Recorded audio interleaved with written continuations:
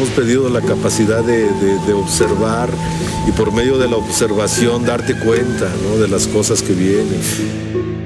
El cambio pues viene, sí viene, claro que viene y viene fuerte, ¿no? Precisamente por eso tenemos que empezar a cambiar nuestra actitud de pensamiento.